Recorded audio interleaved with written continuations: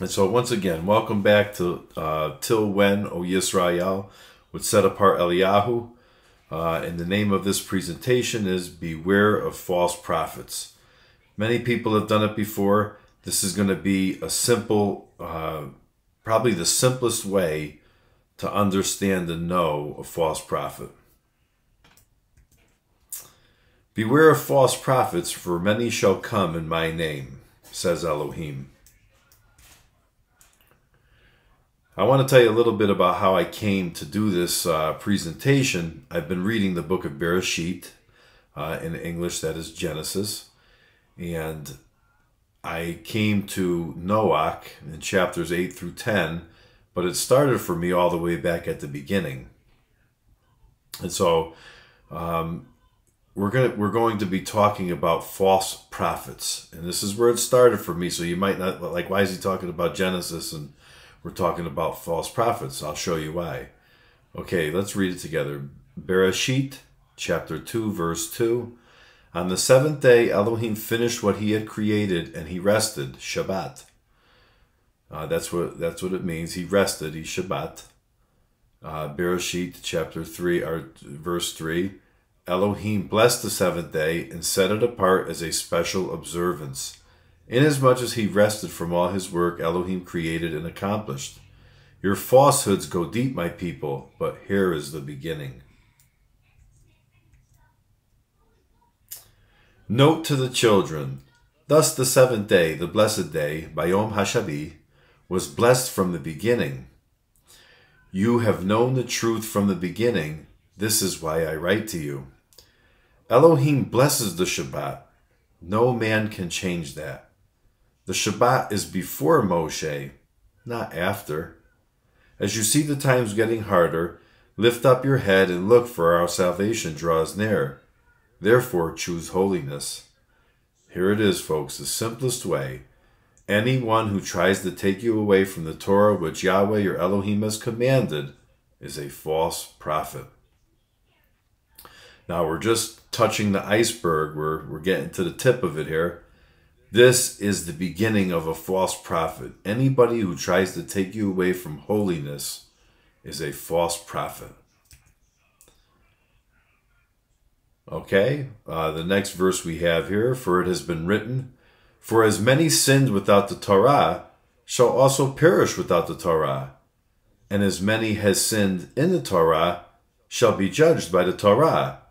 For not the hearers of the Torah are righteous in the sight of Elohim, but the doers of the Torah shall be declared right. Amen. The universe will be judged by the Torah. Yes, I say, all mankind. Not the Torah for some and the Noahide for others. You are a false prophet, and your father sinned.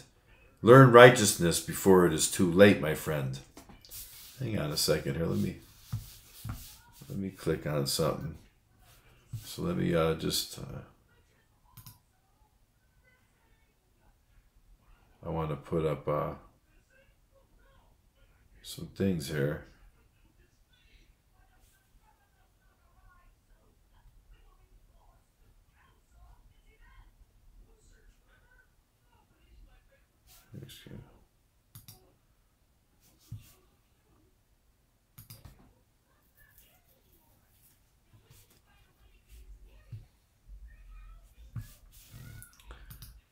Okay. Let's scratch that. Sorry about that. Let me bring you back in. Um, we'll go back down. I wanted to try to, because I have notes that I wrote on the bottom, but I remember them anyways. But it's just kind of talking points that I put down there so I remember to say uh, what I received in my studies. Okay, so once again, we'll just reiterate anyone who tries to take you away from the Torah which Yahweh or Elohim has commanded, is a false prophet. It has been written, For as many as sinned without the Torah shall also perish without Torah, and as many as has sinned in the Torah shall be judged by the Torah. For the hearers of the Torah are righteous in the sight of Elohim, for not the hearers of the Torah are righteous in the sight of Elohim, but the doers of the Torah shall be declared right. Amen. The universe will be judged by the Torah. Yes, I say, all mankind. Not the Torah for some and Noahide for others. You are a false prophet, and your father sinned. Learn righteousness before it's too late, my friend. Thus it has been said in the prophet Yeshayahu Yahweh says to his people, Do what is right and just, for soon I will save you. I will bless those who always observe the Sabbath and do not misuse it. Now, careful, because he says it's also a, a, reflection of not misusing it. Many people use the Shabbat for evil gain. That's a whole different topic, and we won't go down that rabbit hole. But what we're discussing today is uh, I will bless all those who do nothing evil. So love does no evil or harm to a neighbor. So love is just not this ooey gooey charismatic thing. Uh, it says that I um, Yahweh will bless all those who love me and keep my commands. That we, we learn that we learn what love is in, in a better reflection in the Ten Commandments. Right? So look at he says, I will bless those who do nothing evil and the Most High says to those foreigners who become part of his people, who love him and serve him, who observe the Sabbath and faith faithfully keep his covenant, I will bring you to Zion, my sacred hill, give you joy in my house of prayer, and accept the sacrifices you offer on my altar. My holy temple will be called a house of prayer for the people of all nations. Um, that that's really beautiful there because we can clearly see here that under the current leadership, under the uh, current Jewish leadership, this would never happen with the house becoming a house of prayer for all nations. Um, you know, for, for they whipped a boy nearly to death because they thought he brought a Greek into the house of Elohim. So, uh, in their jealousness, they've caused people to fall and they have taught a false, doc, a false doctrine that there's a Torah for Israel and for the foreigner there's the Noahide laws, which uh, is just not true, and we're going to get more into that. Stay with me here. Next slide. My relatives, the Yahudim, tell Goim to keep the Noahide laws and remain a proselyte at the gate. The blind leading the blind. The outcome is fatal in the end. There is no Noachim covenant after the man of Elohim, in who we gain insight into the coming of the prophet that would be like him. Thus Moshe was a mighty one of Yah. Hallelujah.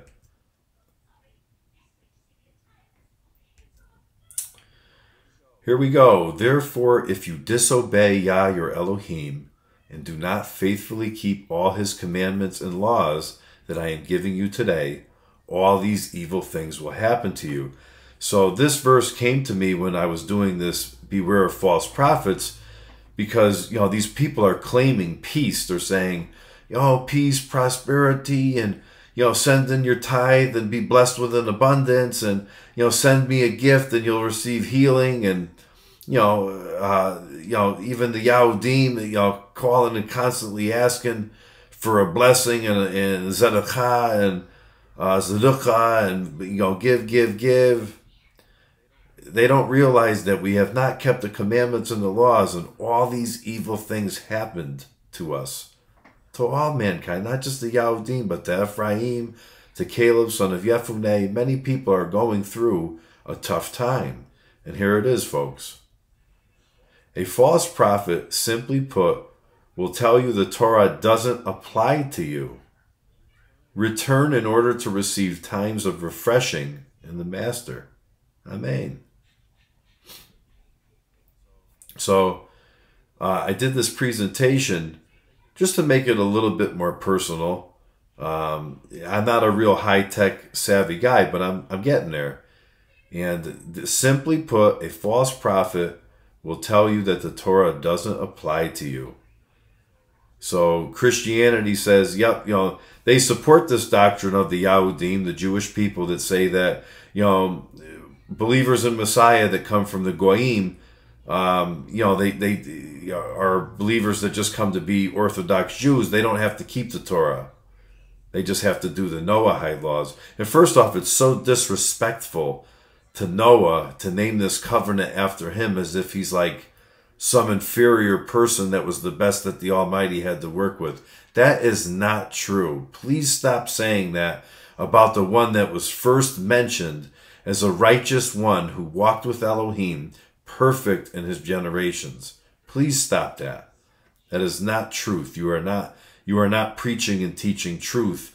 You're preaching jealousy, lies, and deceit. Okay? Stay with me, folks. Next slide. You put to death any interpreters of dreams or prophets that tell you to rebel against Yahweh, who rescued you from Mitzrayim, where you were slaves. Such people are evil and are trying to lead you away from the life that the Almighty has commanded you to live. They must be put to death in order to rid yourselves of this evil. Now let's make a very important point because uh, I don't want to get kicked off of YouTube. I'm not saying to put anybody to death. This is the Torah, folks. There are, there are things that we cannot do until Elohim takes up his throne. Now, what the, the point of this scripture being related to you now is that this is again somebody trying to lead you away from the life that the Almighty has commanded you to live. This is false, this is dangerous, and they're trying to steal you away from the one that gave you freedom, holiness, and righteousness. We are free to be holy. We don't need to be held down in these man made systems of religion, which are really only Elohim in themselves to the lesser reflection. They want to be worshipped. They have their traditions and their, their things that they do. And you go to these cults, these religious cults, where, you know, if you say one thing that's disagreeable with some of these people, they kick you out the door. And it's like, we are truly living in a cold time. I mean, you make a mistake right now, somebody will cut your heart out your chest and serve it to you on a platter. I mean, we are we are living in a cold time. Uh, so let's read the note down here, uh, right where the blue is. It says, uh, There is not a covenant of Noahide laws after the man of Elohim, Moshe. All will be judged by the Torah, and most importantly, the covenant behind the Holy of Holies, in the ark the ten word, the covenant. You have led the whole world astray with your crooked paths. You brood of adders. In your jealousy you have acted foolishly so as to bring the Goyim into condemnation, not realizing that's where our lost relatives are coming to us from. Return and confess and be saved, my son. Hallelujah. He will bring us home soon. Excuse me. We see that the mighty one of Israel will have mercy on us. Many false prophets say otherwise. As it was in Mitzrayim, so it will be again. I've learned in my belief that he will only have mercy on those who acknowledge that we have walked contrary to him and that he has walked contrary to us. To acknowledge that we broke his covenant, we have been in our sin and have served other mighty ones. We broke his covenant, therefore we are slash were in need of redemption. The death of the firstborn sets us free. I speak a riddle to you right there. May you have ears to hear it. And now I say Amen. So the first, the, the death of the firstborn sets us free. Um, wait a second. Let's go back.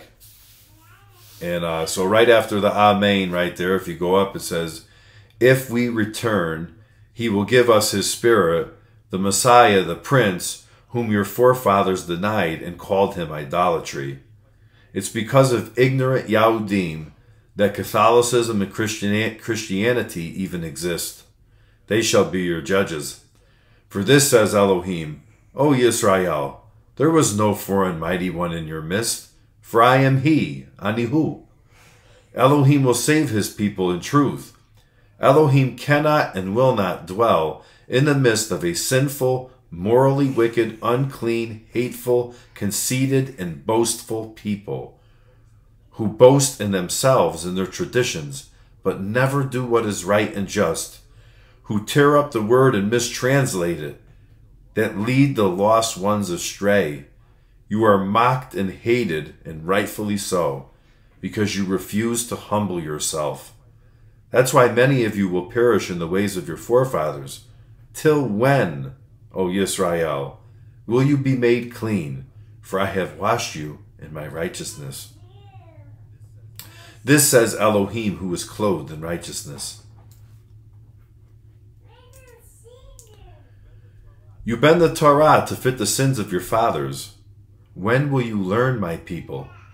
How many times must I afflict you? Haven't you suffered enough at this point? Turn to me, and I will heal you, and write my covenant on your heart, and I will give you a heart of flesh to replace your heart of stone. My teacher and his taught ones gave you truth, but you rejected them.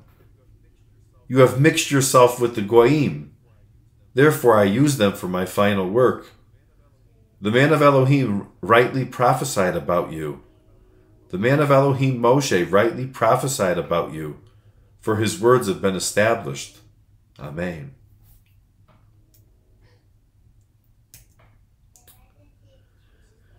This is the last slide, folks. Till when, O Yisrael? Till when will you be saved?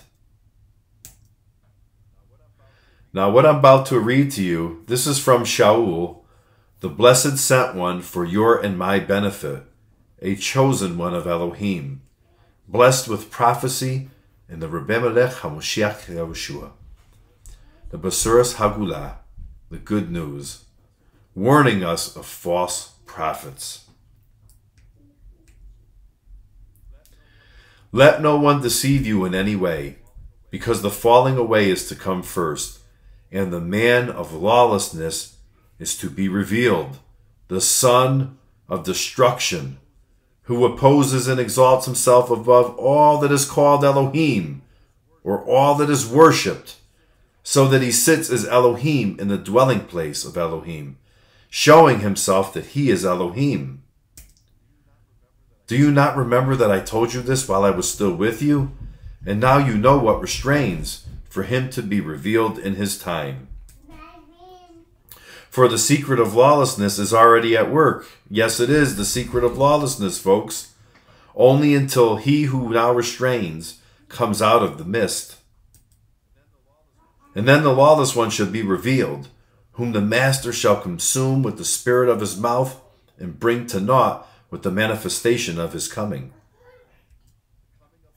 The coming of the lawless one is according to the working of Satan, with all power and signs and wonders of falsehood, and with all deceit of unrighteousness in those perishing, because they did not receive the love of the truth in order for them to be saved.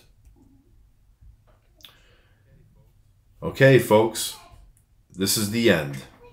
Shalom to all. So uh, I wanted to talk to you a little bit about what we discussed. And, and the Yahudim, they say that a goy has to do the Noachim covenant, and Christianity actually supports this. This is why both of them are a false prophet. A true prophet speaks the word of Elohim with boldness and practices and teaches righteousness, and he shall be called great in the Bais Hamikdash in the kingdom of the mighty one of Yisrael when it comes, and it's coming soon. Myself and my relatives we know. Even though my relatives are in their unbelief, they are a set apart prophet, and many of the Yahudim are claiming and proclaiming that the Messiah is near to come. Folks, I tell you that it's true. We're, we're knocking on the door, and we've been in the time for quite some time. We're in the ten toes made of iron and clay. We're going to get more into the lesser reflection of prophets and and uh, people uh, giving the Messiah a bad representation uh, we'll talk about the false Messiah, the anti Messiah in place of the Messiah, which is Christianity. And that's the secret of lawlessness. But there's also another reflection of one who's to come. And another one might come uh, impersonating the Messiah very, very soon. So I tell you, if you hear of them and they say, uh, the Messiah, the, the Rebbe Melech HaMoshiach is uh, in the wilderness, I tell you, do not believe if they tell you, come, uh, Moshiach is in uh, synagogue or he's in uh, shul, I tell you, don't go. For when the Messiah comes, everyone will know. So, folks, shalom alachem to all of Yisrael and those fearing Elohim, and beware of those false prophets. In Yahushua Mashiach we pray. Amen.